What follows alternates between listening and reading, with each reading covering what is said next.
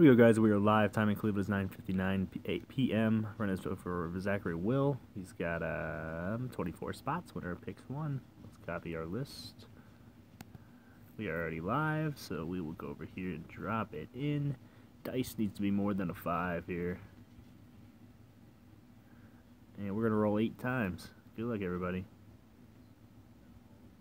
One, two, three four,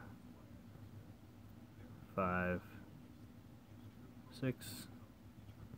That's seven times. With that dice roll of an eight. Next click is your winner. Good luck. And eight.